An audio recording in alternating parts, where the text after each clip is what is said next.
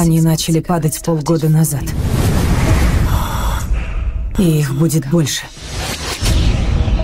Это изменит человечество.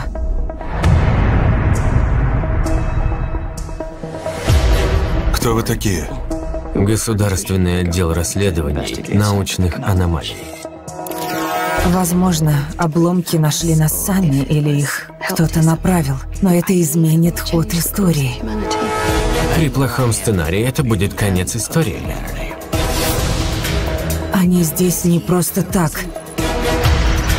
Мы все имеем право знать правду. Здесь все плохо. Я должен все изменить! Эй! Я должен все изменить! Как такое вообще возможно? Это же наша работа. Невозможно.